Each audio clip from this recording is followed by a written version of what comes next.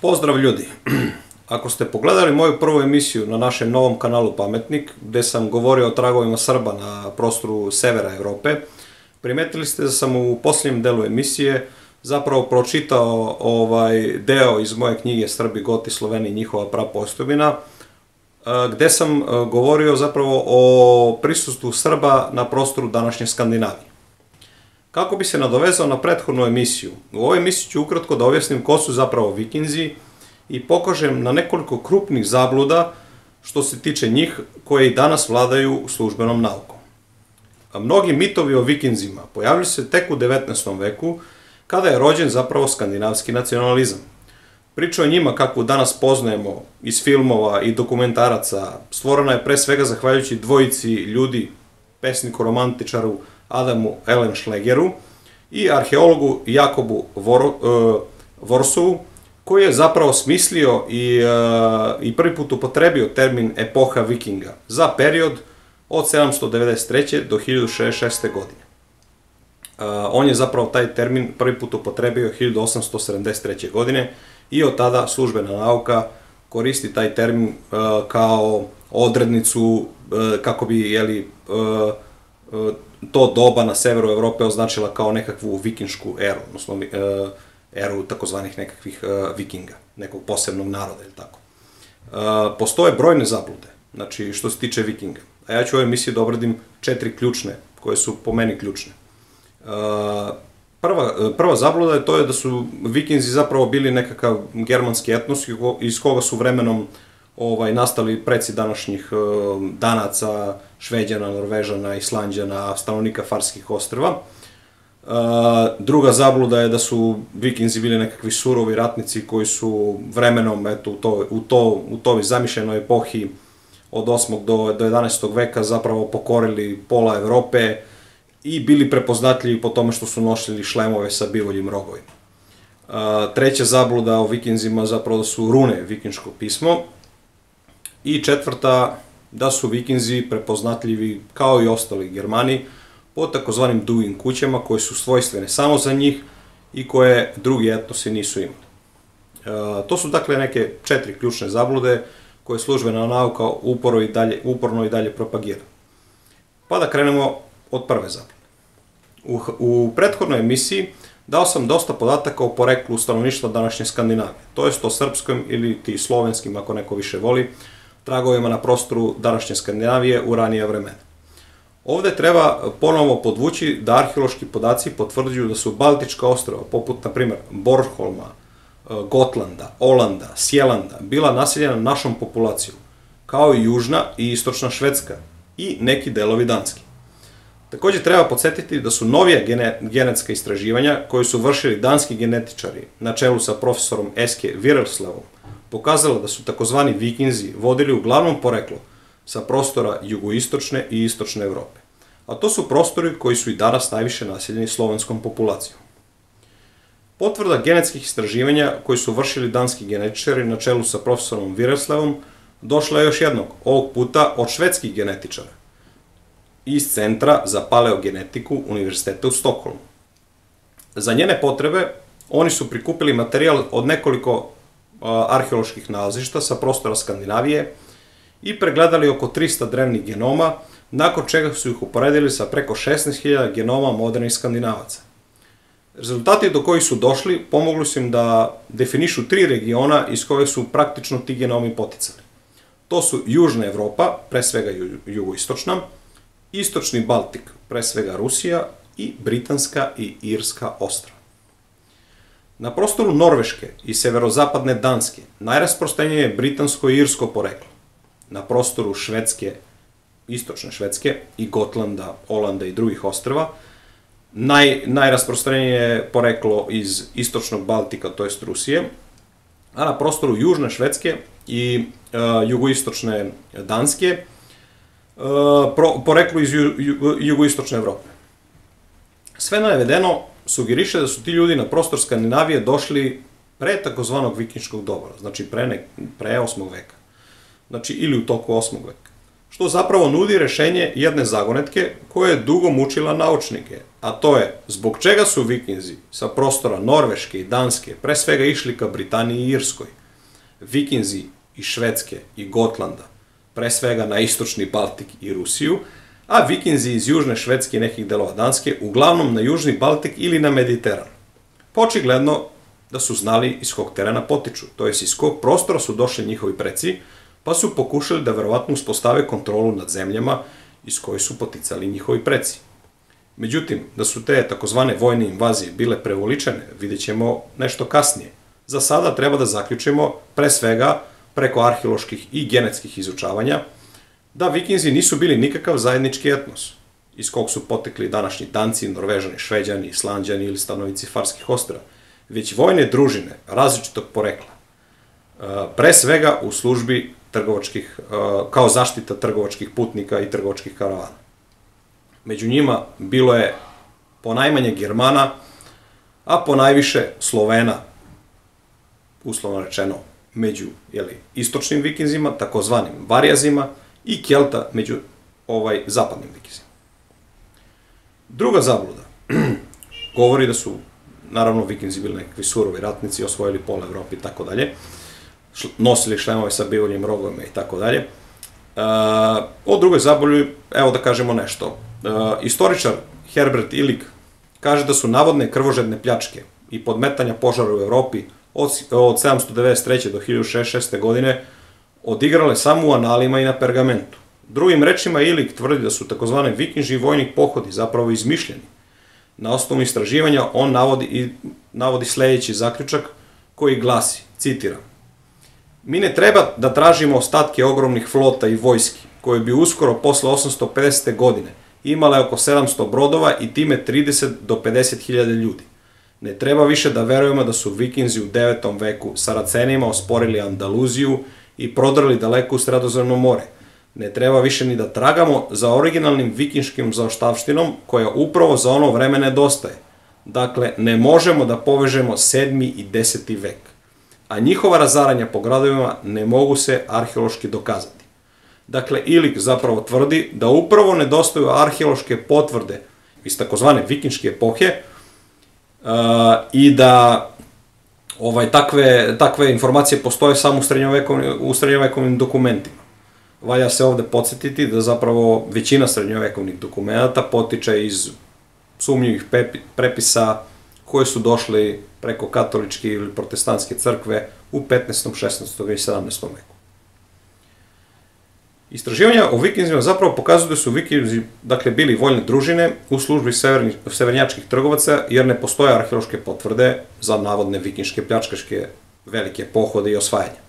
Nedostaju, poput toga nedostaju što što drugo, na primer šlemovi sa beoljim rogovima, koje danas možemo videti kao rekvizit kod, recimo, navijača švedske, danske, norveške reprezentacije, ili u jako popularnom strip junaku Hogaru Strašnom. Dosadašnje arheološke istraživanja vikinških grobova zapravo pokazala su da gotovo u nijednom grobu nije pronađen takav šlem. Znači, e, kod njih e, arheološki podaci zapravo govore da, pokazuju da takvih šlemova nema, a mi znamo da recimo takav šlem sa bivoljim rogovima nosio knez Lazar na, u Kosovskoj bici. Takođe, šlem sa bivoljim rogovima je e, jasan i potvrdan motiv u heraldici srednjovekovnih kuća, uh, srpskih kuća Lazarevića i Brankovića. Treća zabluda zapravo govori o runama kao vikinškom, to jest germanskom pismu.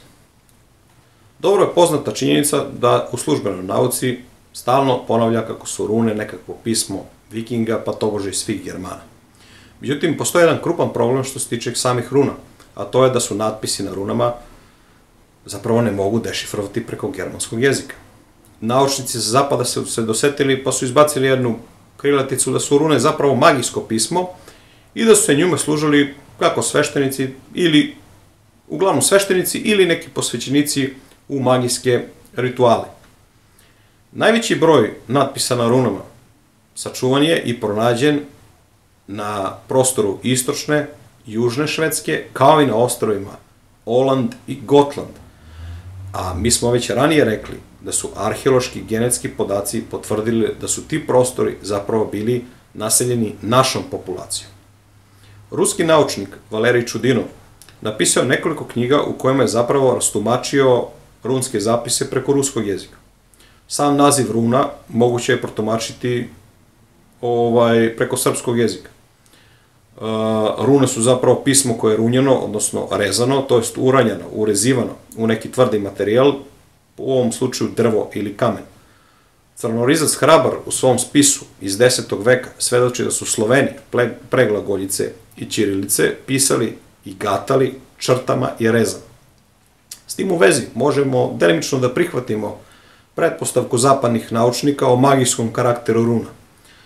E, činjenica je da rune nisu mogle da tumače obično germansko stanovništvo na severu, već su ga znali samo duboki posvećenici u magiju, možemo uporediti sa sličnom situacijom na jugu Balkana u starom veku, kada su recimo Grci, to jest Heleni, dolazili u, u e, Dodonu ili Delfe, gde im je Pitija saopštavala proročanstva na njima tuđem, frigijskom, odnosno pelazijskom jeziku, kako su ih zvali, kako su taj jezik nazivali ovaj, antički grčki pisci, a, a zapravo radi se o jednoj varijanti starosrpskog jezika. Ko su Geti, ko Goti i kakva je njihova veza sa Srbima? Knjiga Srbi, Goti, Sloveni i njihova prapostojbina Aleksandra Mitića produbljuje saznanja o dalekoj prošlosti našeg naroda. Naručbinu ove i ostalih knjiga autora možete izvršiti putem telefona 062 847 3726. Četvrta zabluda odnosi se na to, znači kao što smo rekli da su vikinzi uh, imali, bili prepoznatljivi po takozvanim dugim kućama, pa samim tim i svi Germani, a da drugi narodi to nisu imali. Međutim, to nije baš tačno. Sada ćemo da prezentujemo naša saznanja na tu temu, koje sam ja iznao u svojoj knjizi Srbi, Goti i Sloveni njihova prava postavljena. Jedna od prvih dugih kuća na severu Evrope pronađena je na prostoru Jitland u današnjoj Danskoj. Arheolozi su naš, naišli na kaldrmu širine 3 metara i njena starost se datuje na neki 2500 godina pre Hrista. Nakon toga polako su počeli da se ocrtavaju obrisi naselja. Sa obe strane te kaldrme protezale su se prostorije, sa svake strane one su se spajali u jednu vrstu neprekidne duge kuće u dužini od 70 metara. Dakle, s obe strane kaldrme po jedna duga kuća od 70 metara. Svaka kuća je imala po 26 soba, dimenzija 6 puta 3,6 metara, to je 21,6 metara kvadratne. To je otprilike, ovako, za poređenje da kažemo, neka prosečna današnja dnevna soba u jednom stambenom objektu. Tako, te veličine. Znači, to je bila neki prostor gde su preci severnjaka živjeli kao neki stambeni prostor, jeli, e, predaka današnjih severnjaka pre nekih 5 e, do 5,5 hiljada godina. Dakle, celokupne duge kuće koje su pronađene na Itlandu e, bile su dužine 70 metara, odnosno veličine 6 puta 70 metara, znači oko 420 metara kvadratnih, što je ovako, da kažemo, jedna impozantna građevina za to doba, je tako? E, takve slične građevine do skora su ovaj, gradili ovaj, i frizici, kao i neki drugi skandinavci. Međutim, duge kuće nisu svojstvene samo Germanima i skandinavcima, već i drugim narodima Evrope, naročito na severu. Tako sličnih kuća imamo i kod Kelta, na primer u Bretanji, to je u današnjoj Francuskoj, ili u Škotskoj ili u Velsu. E, lučička kultura, koja je bila rasprostanjena na prostoru današnje istočne Nemačke, Poljske, Češke, Slovačke, severne Mađarske, zapadnih delova Belorusije i Ukrajine i datuje se na period od 1300. do 500. godine pre Hrista, u arheologiji je, e, se zapravo prepoznaje kao praslovenska kultura. Poljski, poljski arheolog Jožef Kostrževski tvrdi da se naselje ove kulture karakteristična i da su takozvanog gradinskog tipa, sa širokim i visokim odbrambenim bedemima, tipičnim za Slovene, tog perioda kao i kasnijeg perioda. Sva naselja ove kulture poznata su po dugim kućama. U većini naselja bilo je par dugih kuća i više desetina ili stotina manjih kuća. Najpoznatije naselje ove kulture, koje je dobrim delom rekonstruisano, je naselje kod mesta Biskupija u današnjoj centralnoj Poljskoj, a Kostraževski koji je istraživao i ovaj publikovao rad o, ovom naselju kaže da je ovo naselje gradinskog tipa, karakteristično za slovenska naselja tog perioda i kasnih perioda. Sve kuće u naselju bile su duge kuće. Bilo je ukupno 13 dugih kuća sa 105, ukupno 105 prostorija veličine 8 puta 10 metara. Dakle, za jednu porodicu ostavljeno je po 80 metra kvadratnih stambenog prostora, što je za i mnoge priznaćete i danas pojam. Prostorije su bile uređene jednostavno, sa ognjištem u sredini, sa ležajima u levom kraju, ovaj, u levom delu kuće.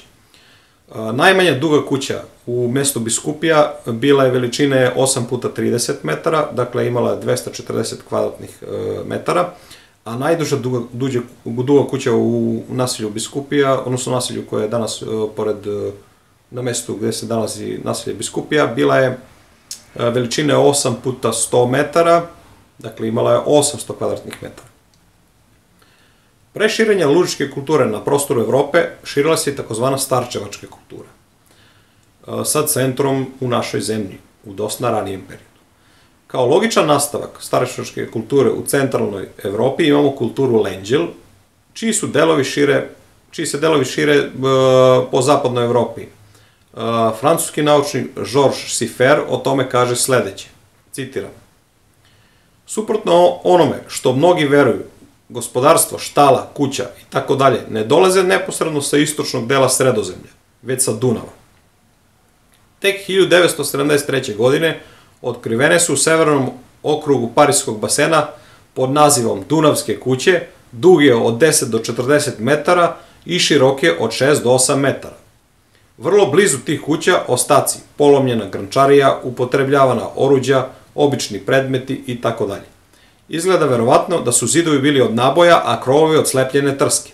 Sela su imala od 50 do 200 stanovnika. Ova dunavska civilizacija, četvrtog milenijuma pre Hrista, proteže se od Čekoslovačke do Francuske, prelazeći preko Holandije i Nemačke. Ukratko, Gali su bili pomalo naši preci, ali nisu bili jedini izgleda da je talas prodiranja indoevropskih jezika sledio isti, isti put. Pre Grčke i Rima za nas Francuze je postojao Dunav. Dakle, iz citata Žorža Sifera vidimo da su doseljenici koji su u Podunavlje došli iz današnje Češke, Slovačke, Poljske, Nemačke, Francuske, Holandije, Skandinavije, još u najranijem periodu doneli gradnju dugih kuća, što, de, što dovodi do zaključka da ona nije specifično germanska. Zato je i ima kod drugih evropskih naroda, naročito na severu, dakle, srpskih, odnosno slovenskih naroda i kelta. Još nije utvrđeno zašto su se gradile ovakve građevine. Možemo pretpostaviti da je stvar bila praktične prirode i da je u severnom prostoru, e, čije je naseljavanje počelo nakon povlačenja lednika, sa prostora Podonavlja, šumski ekosistem, šumski ekosistemi zapravo nisu bili jako razvijeni u početku, pa je drvna građa bila deficit, kao na primjer na današnjem islamu. Takođe u hladnim predelima poput severa Evrope takve kuće štedela su energiju i bile toplije od malih individualnih kuća. Gotovo po pravilu imale su odalenja do stambenog objekta u kojima je bila smeštena stoka, što je dodatno povećavalo toplotu kuće u surovim zimskim uslovima. Da je način gradnje dugih kuća na severu Evrope zaista došao iz Podunavlja, imamo i arheološke potvrde sa našeg prostora. Naime, na arheološkom lokalitetu Use kod Banjice, e, kod Beograda, dakle, pronađena je e, kuća iz vinčanske epohe, dimenzije 20 puta 11 metara, što je za građevinsku delatnost neolitskog čoveka svakako jedan vis, e, visoka stručnost u tehnologiji. Takođe, arheolozi su otkrili na prostoru današnje Bugarske okolini Krna, kuću iz ranog bronzanog doba, veličine 20,5 puta 5 metara. Dakle, ovu kuću bi mogli da okarakterišemo kao dugu kuću. Na kraju da zaključemo iz svega navedenog, prvo, Vikinzi nisu bili zajednički germanski etnos, to jest nisu bili nikakav etnos, niti ovaj, preci, od koga su nastali današnji Danci, Norvežani, Šveđani, Islanđani ili tako dalje, ili stanovnici Farskih ostrva. E, već su bili vojna družina koja je štitila trgovačke rute i trgovačke karavane širom severnih krajeva Evrope. Po arheološkim i genetskim podacima, među vikinzima, naročito onim istočnim, najviše je bilo slovenske populacije, među onim zapadnima najviše keltske. Bilo je nešto malo i Germana, ali pre svega Slovena i Kelta. Drugo, pohodi vikinga su preuličani i veći deo njih postoji samo u delima srednjovekovnih pisaca, koji su do nas došli u obliku sumnjivih prepisa od 15. do 17. veka. A za većinu tih prepisa zapravo hvali arheološka potvrda, iako, se, iako su za tom potvrdom tragali već nekoliko vekova. Cela takozvana epoha, epoha vikinga je zapravo stvar skandinavskog romantizma i buđenja nacionalizma u 19. veku, pa i sami čuveni šlemovi sa bivoljim rogovima never, najverovatniji su pozemljeni ovaj, iz srpske heraldike, jer do sada nisu pronađeni u arheološkim ovaj, ostacima vikinških grobova. Treće, rune nisu vikinško, to je germansko pismo, već jedna varijanta starosrpskog pisma koje je zapadnim, pre svega zapadnim vikinzima, pre svega služilo u magijske svrhe, jer jezik na kome je to pismo ovaj, na kome se to, tim pismom proricalo zapravo nije bio razumljiv Germanima, kao što ni antičkim Helenima nije bio poznat jezik iz proročista Dodone i Delfa. I četvrto, duje kuće nisu nikakva specifična odluka skandinavaca, pa ni, ni ostali Germana, jer kao što smo pokazali, za nju su znali i druga plemena. Pre svega srpska i keltska. Najviše na severu Evrope. Poreklo takvih kuća, kao i populacije koji ih izgrađuje, zapravo se širi iz Podonavlja ka severu Evrope. One su u surovoj srednjačkoj klimi očigledno bile praktičnije od manjih individualnih kuća.